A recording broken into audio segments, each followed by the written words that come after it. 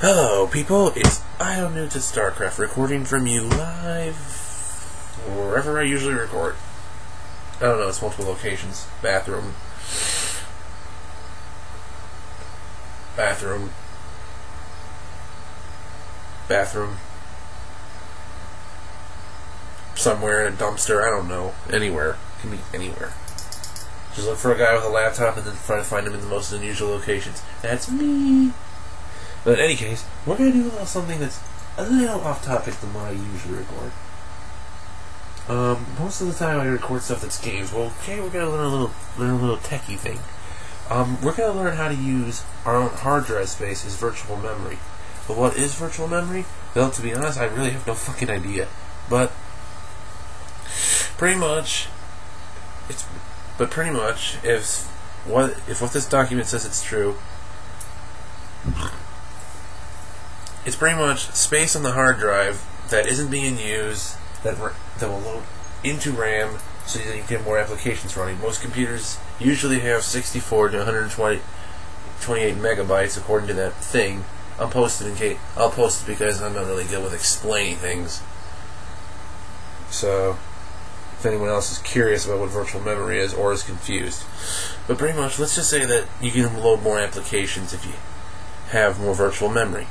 So we're going to learn how, how to get more virtual memory using our own hard drive. So pretty much, how do we do this? Well, first we're going to go to my. First, you're going to go to your Start menu, go to Computer, and then you're going to click Properties. You want to see a screen like this come up. Basic information about the computer, all right here. Go to Advanced System Settings.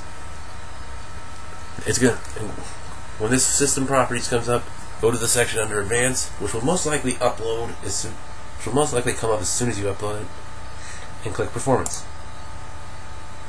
Now you're going to go to advanced, and you're going to go down to virtual memory. A paging area on the hard disk that Windows uses is if it were RAM. Pretty much backup RAM, not actual RAM. Now, what you want to do is you're going to go to change. Now, Mine's already set up on the way that it's already custom sized because I actually just figured this out today. So I figured, and I've actually seen some videos on YouTube that shows you what to do, but it doesn't explain it really too well in general. Okay. it lists all the drives that it has right here. For me, this would be my operating, this would be my actual hard drive, my recovery drive, and the the SD card drive, of which I don't use. I think about it, why don't I just convert all that into virtual memory? yeah, I'll do it later. I actually care. Okay. So, it's most likely going to be on. Okay, when you first come here, it's most likely going to be set on system managed size.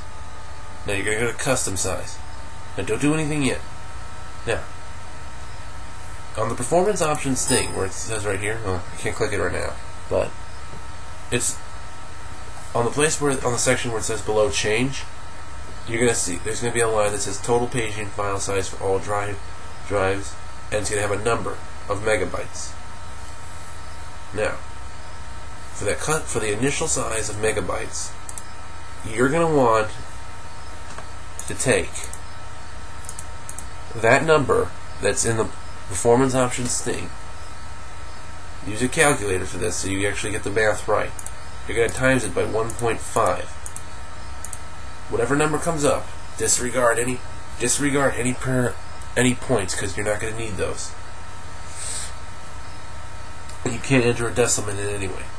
Whatever that number comes up to, enter that in on the enter that in on the initial size. So for me, right now I have 5,041 megabytes of virtual me of virtual memory. I'm going to want to increase it. So I take the 1.5, 1.5 of that is 7, 7561. So you would enter that number in.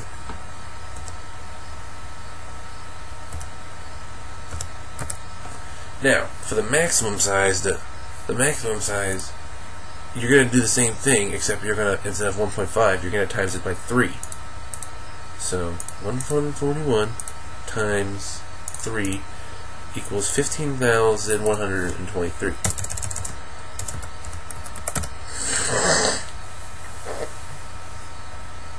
After that, you're going to click Set. Now, I actually liked it where it was earlier, so I'm, I don't really plan on increasing it. Now, it's very specific with this on the account. Now, it's very specific with this on the account that I heard horror stories before that you can actually fry your laptop if you put in way too much virtual memory. I don't know if those rumors are true or not, but the reason that it's the 1.5 and 3 is so you're on a safe level. Of which I would agree, I would rather be on a safe level than accidentally fry out my computer. This was pretty much 700 bucks right out of my wallet. Now, once you're done with everything, out everything, and after that, you're going to want to shut down your and restart your computer. And after that, you'll have more virtual memory to spend. Now, do be remember, I do realize that you are consuming hard drive space. So, if there's a hard, so if you're low on memory for your hard drive, and you know you're going to need stuff installed somehow, and still need stuff installed later, um, don't do this method. Now, but if you have hard drives to, but if you have hard drives to spare, if you have memory to spare like me, I got like 90 gigs still, and I don't really use it too much of it. You can then add, then, and you need more virtual memory. Then you have a way of adding more virtual memory to your computer. So, you're happy, and the computer will not destroy itself. So the computer's happy. Smiley face. Good night, people.